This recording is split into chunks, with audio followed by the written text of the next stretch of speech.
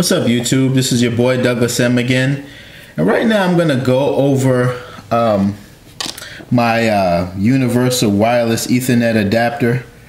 Um, it's called a Netgear WNCE 2001, and this is this is an Ethernet to wireless adapter. Basically, that's the best way uh, to describe it.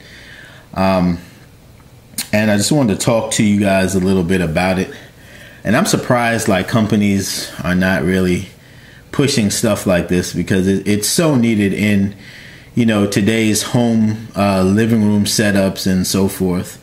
For example, um, you would need this if, like, say, for instance, take me for example, my wireless um, router and my uh, Time Warner router um, is up in my bedroom because I work from home, uh, and so that's out of my bedroom. So obviously, well, where you're looking at is my living room, which is downstairs. So there's no way, um, no easy way that I can run a cable all the way from my um, router upstairs to down in the living room downstairs. That's it's I, I couldn't even see it. Maybe when the house was built, that would be easy, but right now that is close to impossible or very expensive to do, which no one's going to pay for. So this is where this comes in um, because what it does is it grabs your Wi-Fi connection, and then it has an Ethernet part on the back. Um, I don't know if you could really see it. it. Has an Ethernet to the back, so it grabs your Wi-Fi connection. Then you take the Ethernet and plug it into whatever you need to plug it into to um, to make it work, whether it be a single device um, or a router. So I'm gonna touch on that really quick. The I have a refurbished one, um, so I paid about thirty bucks for it, but I think brand new is like forty to fifty bucks. I know on Amazon you can get it on eBay. You can get. I think they sell it outright at Walmart. Okay, just to to to give you a, a quick pricing example. Um, but again, you would need this again if you needed in the reason why, okay, well, the reason why I got it is my receiver, uh, my home, uh, my surround sound receiver is a network receiver, but it doesn't have Wi Fi and it doesn't, Yamaha did not provide or make available a dongle. You know, that's one of those Wi Fi uh, uh, like adapters specific to that company's unit that will, will make you run Wi Fi um, for that device. Well, they didn't they didn't make that, so I had to find a way to get internet connection to my device, and so this is the cheapest and easiest way to do that. So that that's why you would get it. Now, a couple things about this I'll talk about. Um, cool thing about it is it comes with two connections. It comes with a USB powered cord, meaning you can plug it in and get power via USB, which I don't recommend or you can get um, you can use the the plug. It would be like a USB, or no, it would be like a just a plug. One end is a plug, and one end is like this piece right here. Um, you know, it plugs right into the device. So yeah, I would recommend you doing that. And basically, how it works is you're going to take when you when you first get the unit, you're going to use the USB piece and plug it into your computer, and right away, the Netgear screen should come up. If it doesn't, then you have a problem. I had a problem with that. I had to hook it up to my Google TV, um, and it worked right away. I, th- I think my laptop and my desktop had some viruses in the past, and it might have, you know, gave me a problem with that prompt coming up when I hooked it up to the USB on my desktop and my laptop. I don't know what happened there. But when I hooked it up to my uh, Google TV via USB, um, the Netgear prompt came up and I configured the Wi Fi because that's what you first have to do. A lot of people don't know that. I don't know why, but you have to configure this. You have to hook it up to your computer and you have to hook it up to your Wi Fi. So you're going to need to know A, your router's um, name and password like for instance, or it might be default. I don't know. You would have to find that out before you do this, before you set this up. So for instance, I have a Linksys router and um, it has a default you know, it has a default uh, username and password, and um, and it's just default. You can find that out online if you Google it. But if you renamed yours, um, then definitely you know make sure you find out what that is because you're going to need that. You're going to need the username. Uh, I mean the um, the name of your router and the password. You're definitely going to need that. And once you hook that up, it it actually locks into your Wi-Fi. So every time you plug it in, which I'll show you in a minute, it will connect to your Wi-Fi. And so what you do with that, you can do two choices. You have two choices. You can actually hook that into a um, the device itself, or you can hook the Ethernet cable, which is here. This is what I'm talking about. You can hook the Ethernet cable um, into a device, or you can hook it up into a router. Now I hooked mine up to a router, and it worked right away.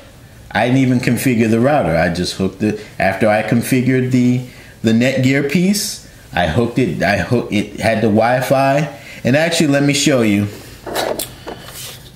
This right here is the power button. That first button. The middle button is LAN. That means I have an Ethernet hooked in to something, right? And then the last shows that I have Wi-Fi. So I'm gonna actually plug it out. I'm gonna plug plug plug the power out and plug it back in so to show you how and I'll plug the LAN out just so you can see it. See if I got an angle here. Just so you can see it. Um, come on. So it may take some time but that's how it looks with just the power light on so um, actually let me go ahead and hit reset. Um, what is it? Yeah see it going there? So now it's looking for my Wi-Fi connection. It takes a while. Um, it, it doesn't come on right away. It could take up to two minutes actually. And I definitely recommend you using the plug because with the USB it loses connection too much. Um, I and it could be because I have a refurbished one, so I don't know. But um, also too, I wouldn't really. Now the great thing about this is a universal adapter, so it will work with anything. It doesn't give a crap what you're trying to hook up. If it has an Ethernet, whether it's an Apple product, a Sony product, a Samsung product, it doesn't give a crap. It will it will feed it internet. Okay. So, but I mean, if I'm gaming, I don't know if I would use this. You know what I'm saying? Like on my Xbox or because let's say uh, on my receiver it has Pandora on it and I use that for that and Sirius uh, XM radio. And if I'm listening to it for like say maybe three hours, it would give out. Sometimes after a while, like two, three hours. So you know if you're gaming and I don't know, it could be because mine is a refurbished. So, but I don't usually listen to the radio that long, so that's not a problem. But it does happen from time to time. I would, on the scale, like I would say, if I if I'm running Pandora on my receiver uh, ten times for two hours straight, it would happen twice. So eight out of ten, um, no, two out of ten times, um, it would mess up. So gaming, I don't know, but maybe uh, check the reviews on Amazon and stuff, because maybe when you um, you know when you use when you when you get a, a, new one instead of a refurbished one or maybe a different refurbished one than I got maybe it's just my luck it might work better. So I can't talk to that because I don't have a new one. Okay? So other than that uh, what else do I need to talk to talk to you about on this? Um, of course it's compatible with Windows 7 Vista XP 2000 Mac or Linux. Okay? And um, and that's that's really about it. But again, you would, the reason why you would use this is if you have a device that doesn't have Wi-Fi and doesn't have a dongle, um, or if you just wanted to have one device that hooks up to a, a second um, router in this in your location, and that feeds the internet, so you can you can just feed different items. Like what I have now, I, I put it to my router And now I, I give my TV internet and my receiver internet. Even though my TV is Wi-Fi, I would rather have it Ethernet because it's just stable, and you know it's not interfering, taking away from my, my Wi-Fi, my other devices in the house. Um, so that's it. We're still waiting here um, on it to get connection. Um, so we're just gonna wait on that there and um, see when that comes there. All right, there it is. Finally, um, we got the uh, Wi-Fi connection, as you see right there. Um, that's uh, steady green light.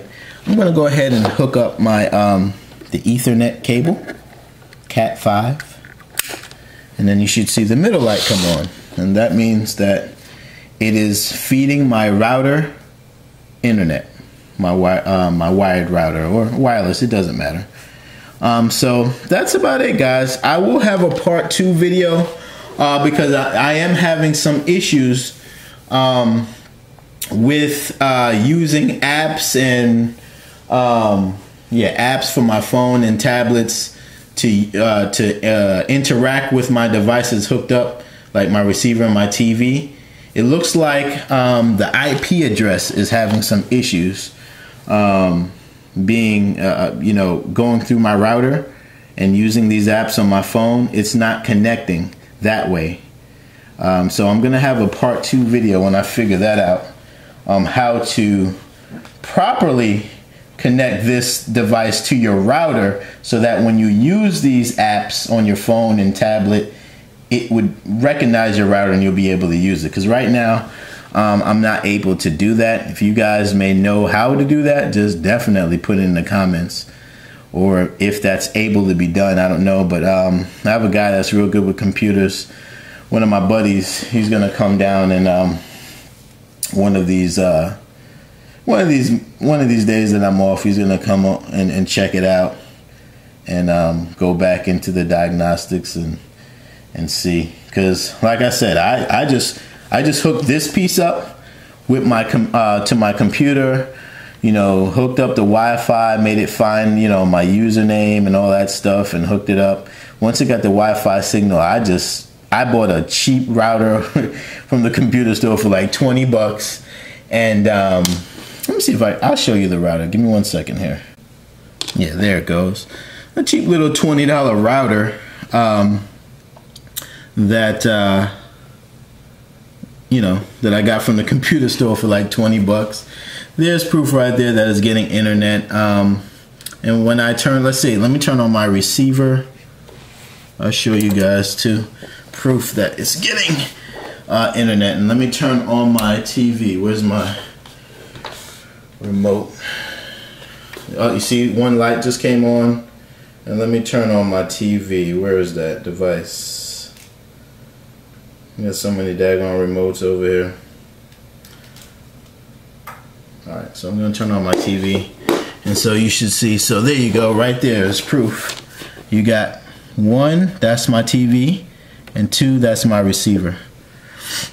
And see, that's proof that this thing right here is giving it internet.